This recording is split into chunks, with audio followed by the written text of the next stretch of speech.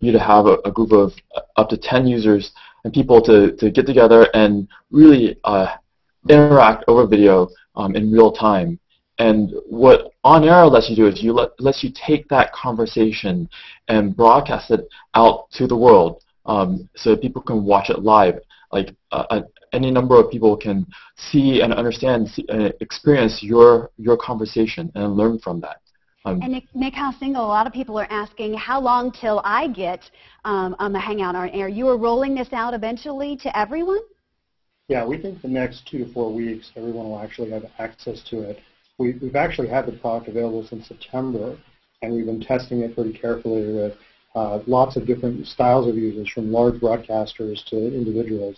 Uh, and you know, folks like Obama, uh, underwater hangouts that have taken place under the Great Barrier Reef. We've seen just an incredible variety of conversations that people want to go live with.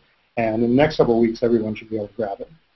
Melissa Carlson of Reno in Nevada is using this component just like we are in order to connect with people. What do you think about the ability for anyone to, in the world to have the ability to broadcast? Does that change our job as journalists?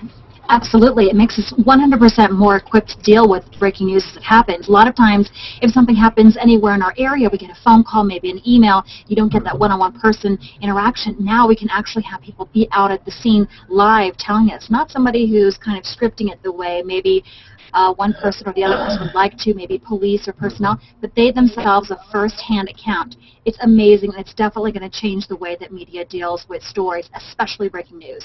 You agree with that, Dan McDermott?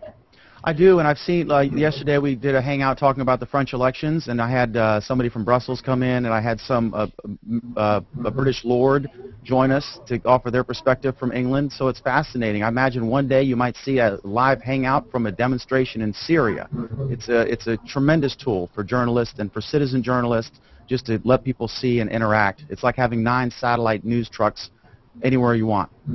Absolutely right. And again, that's rolled out today. And in the commercial break, we'll be talking here a little with Carol Lee about how she plans to use her Hangouts on air. Now here's a red carpet report. I'm Allie Pawlowski, and it's finals time for The Voice. NBC Singing Competition Series will decide its winner over the next two nights with the final four performers taking the stage tonight. So the finalists will each perform a solo tonight as well as one song with their respective coaches. Tomorrow night after the final votes are already in, the four finalists will perform two additional songs. The winner will walk away with a $100,000 and a recording contract with Universal Republic Records. The dictator was welcomed onto the plaza in Rockefeller Center today. That's Admiral General Haffaz Aladeen, played by actor Sacha Baron Cohen in the new movie The Dictator. He's the dictator of the country called Wadiya, which he described for Matt Lauer. The Dictator opens nationwide on May 16th. And that's it for your red carpet report. Thanks a lot. The Olympics are just about 80 days away, but check out this dog who is ready to compete in the rings competition. Take a look.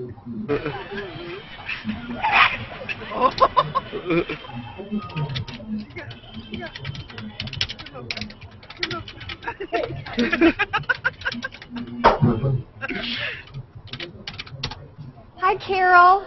Hi there. Sorry, we, our, my producer gave me a rap before we got a chance to get you on, but I wanted to have you share, tell the people who are watching how, um, how you are using Hangouts on Air. Absolutely. I'm Carol Lee, and I'm from Seattle. And I've got a TruePax organization of hotshot elite interns, young interns. And what we're doing is going to use Hangouts on Air to showcase their talents.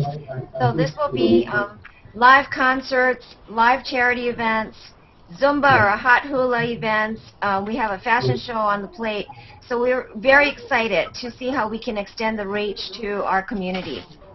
Well, that is great. That is great. Well, I appreciate you hopping in today, here today, and sorry we weren't able to get you in with the group with the others. And, and thank you again. I appreciate Chee, Nikhyl, Dan,